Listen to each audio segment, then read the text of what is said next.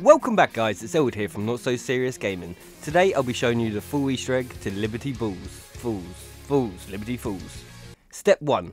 Open up all the way to the church and interact with the machine on the right hand side. This will despawn the zombies and Panos will appear. He's kinda like Thanos, but he can only make the zombies disappear. After his grand speech, interact with the machine one more time and patch him into your signal. Step 2. Now you need to pick up the water valve that's just outside the flower shop. This can be found just down the road from Speed Cola. Once you have this, make your way to the bowling alley and melee this panel on the wall. Once you've done so, you can insert the valve. However, be careful, when connecting the valve this will trigger infinite zombies, and you will have to complete this step to stop it. You'll see a progress bar on the left hand side to indicate how long you have left. The best way to do this, especially when solo, is to just start it and then run off, hoard up the zombies in the courtyard area out here and then run back and continue holding down the button. Once this is complete, the zombies will despawn and the water pressure gauge will be on the floor for the taking. So take it! Step 3. Head towards the cemetery and you'll need to kill a zombie named Groundskeeper, which will spawn in randomly. It will take about a couple of minutes while you're standing and holding in this area. When you see his name, let him have it and collect the tool shed key that he drops. Step 4. Make your way past Speed Cola and the flower shop and head up the staircase just here. In the far right hand side you'll see a doorway for the shed, just open this with the key you collected and inside will be the handbrake for the jet gun. Step 5. You will now need to get your grubby mitts on a mangler cannon, which can be crafted for 1250 salvage from a workbench. Or, from round 10 and onwards, manglers will start spawning in, and if you shoot at their cannon on their arm and destroy it, you'll be able to pick up the cannon itself from their dead body. Now you have the cannon, head over to Ollie's Comics. Opposite that you'll see an electrical store called the Radio House, which you will now need to blow the doors open using the mangler cannon that you just acquired. Once you've done this, interact with the piles on the floor to find some wires. Step 6. Now you have all three jet gun parts, you'll now need to head over to the secret room in the hotel in the spawn area. Head up the staircase and walk over to this door and you'll see the zombies burst their way through it. Take care of them and then head inside and craft the jet gun, allowing you to complete the next part of the easter egg, where you must use it to collect three parts for the LTG. Part 1. Head inside the church and to the left hand side to where Panos had his grand speech, you can suck up the hat just here. Part 2. Head onto the roof of Speed Cola and jump onto this white van. Aim just above the window here, give it a good suck and the part will come flying at you. Part 3. Head over to Ollie's comic book store and just in the ceiling vents just here, you can suck up the final part. Now you need to craft the LTG, which can only be done on a specific workbench. To get here, head onto the building that has Speed Cola on it, head across the zip line and head over to the left hand side just here, and you can craft it here. Step 7. Now we need to interact with the storms around the map. Using the LTG, you need to place it at the base of each of the storms.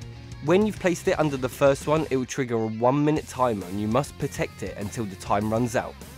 If you fail, you just have to wait till the next round and try again.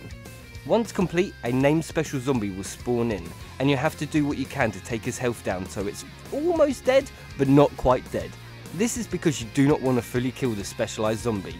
Instead, just weaken it so it's got very low HP. Then head all the way to the church and collect the canister from the machine that you've been interacting with. You will need to head to one of two locations, either to Speed Cola or the spawn area, and place it on one of these little pads just here. Now you've placed the canister on the little pad, you'll need to interact with the Dark Ether generator. This will capture the beast, as yes, they had to bring in another Pokemon step once again. Once he's captured, you'll have 1 minute 30 to return it back to the machine in the church. Wait for Panos to finish talking and then head back to the machine and collect the Strauss counter. Using the Strauss counter, you now need to interact with the three projectors around the map. When standing next to each one, the counter would display a colour. If it's red, turn the light on the white projector green.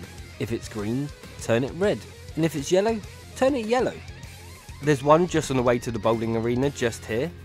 One is just behind the roof of the bank. You need to purchase this door on the roof and drop down to get to it here. And the final one's just over by the shed where you got the handbrake from, just over here. Now head to whichever storm you completed and pick up the LTG and then go place it at the base of the other storm.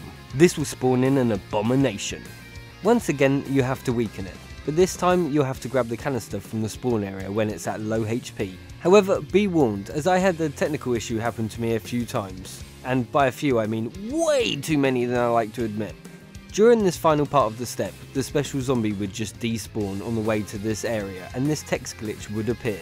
Do not be a fool like me and quit your game when this happens. as you can actually start it one final time and try again. If successful, head up and start the boss battle. Honestly, I had this happen to me multiple times in a row, and sadly it delayed me getting this guide out drastically, so I do apologise to those who waited for me. And for those who actually still watch this, even though you probably have watched all the other guides, so thank you so much you freaking legends. This can also be done at either point both times, you don't have to switch between each one. Activate the generator, capture it, and then once again you'll have a minute 30 to bring the canister back to the church. Now we're pretty much done and ready for the boss fight. Boss fight? This isn't really a boss fight, but more of a wave encounter where you're stuck in a small area. So make sure you're papped and ready, and maybe have a few rockets stuffed up your bum, or a mutant injection.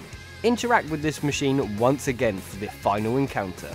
This is where you have to fight through three different waves, one wave will just have normal zombies and manglers, wave 2 will have hyped up zombies on crack and elite manglers, and wave 3 will consist of normal zombies, elite manglers and elite abominations.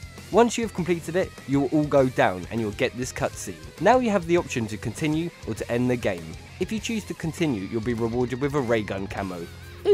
Ooh! Really hope you have enjoyed this Easter egg, and I'll be having the Easter egg for Terminus coming out very soon.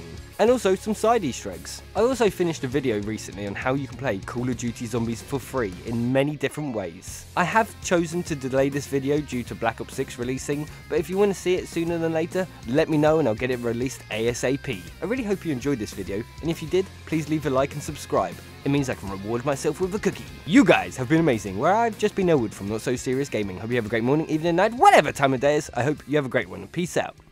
What the f was that?